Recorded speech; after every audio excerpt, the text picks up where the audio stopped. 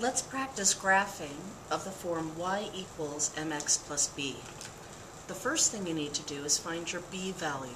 Remember that's the y-intercept. Second, you use the m, the slope, which we think of as rise over run, to find the second point. And finally, you connect those with a line. Make sure you use a straight edge. We're going to begin with the equation y equals 3 halves x plus 3. The first thing I do is find my y-intercept, in this case of 3.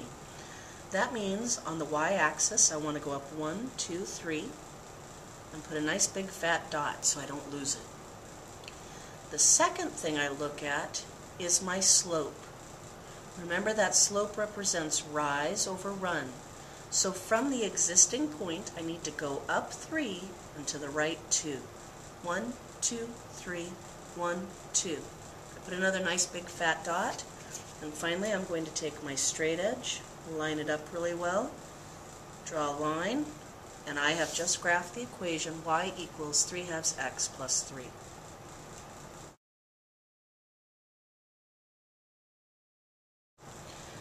Let's try this equation. y equals negative 3 halves x plus 3. What value should we start with?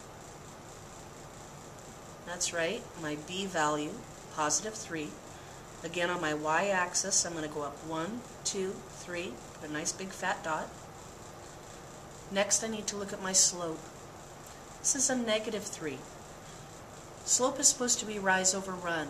In this case, because it's a negative, I know I need to go down, and the 2 is positive, so I'm going to go to the right. So from this existing point, down 1, 2, 3, and right, 1, 2. Nice big fat dot. I'm going to use my straight edge and I'm going to create a nice straight line and I have graphed my equation y equals negative 3 halves x plus 3.